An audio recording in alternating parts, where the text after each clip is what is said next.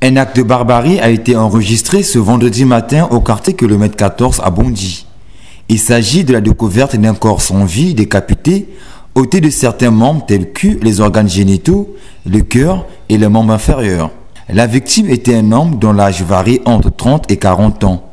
Ce corps sans vie a été ramené par les agents du CFCO en service à leur garage situé au kilomètre 4. Selon les premières informations reçues avant la découverte du Maccabée, il s'est agi d'un accident de train. Mais le constat sur le terrain a révélé une autre réalité, celle d'un assassinat. Ce matin, nous avons eu euh, un message par les conducteurs du train TES. A eu, ils ont eu à écraser quelqu'un au PK 14 plus 300. Maintenant, comme nous avons eu l'information, on a, on a pris les mesures, on s'est rendu sur, place par une drésine qu'on appelle la PV7. Au vu de ça, avec le corps médical et la police, nous sommes arrivés sur le terrain, on a constaté, on a récupéré le corps, mais euh, sur ce corps, nous avons vu que non, le corps, il y avait des coups de machette. Les testicules n'existaient plus, plus euh, la partie du cœur a été enlevée.